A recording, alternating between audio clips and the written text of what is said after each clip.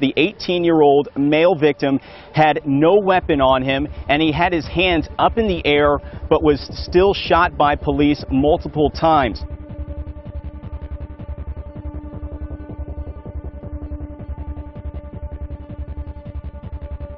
Greetings world, we are Anonymous.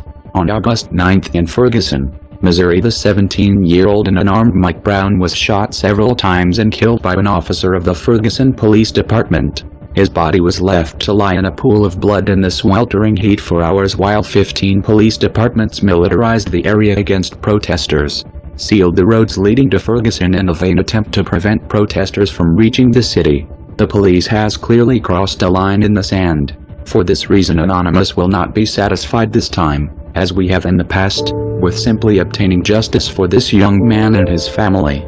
Anonymous demands that the congressional representatives and senators from Missouri introduce legislation entitled Mike Brown's Law, that will set strict national standards for police conduct and misbehavior in the USA. To the good people of Ferguson, take heart, and take your streets.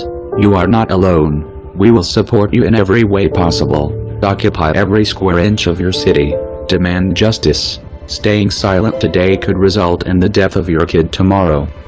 To the Ferguson Police Department and any other jurisdictions who are deployed to the protests, we are watching you very closely.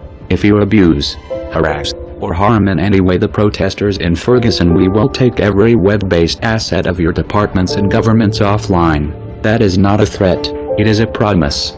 Attacking the protesters will result in the release of personal information on every single member of the Ferguson Police Department, as well as any other jurisdiction that participates in the abuse of this state's own law. We will seize all your databases and email spools and dump them on the internet.